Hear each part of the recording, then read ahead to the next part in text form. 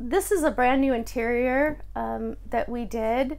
And one of the things in residential, and if you again look at the trends, is the you know the bright white, the Joanna Gaines, the HGTV, Magnolia Home look. But how can I bring that to an RV, which is about the outdoor experience, and particularly Winnebago, which is about getting people back out there. So I decided to take the concept of the white cabinet and let the grain of the natural wood come through it.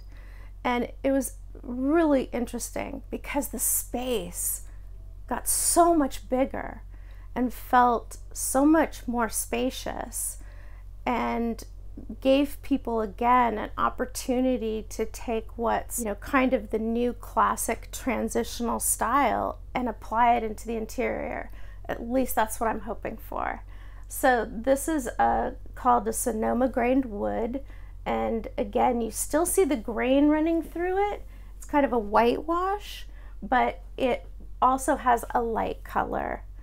I kept the moldings really simple and basic so that like transitional design, which means you can put decorative handles or you can do different looks with it.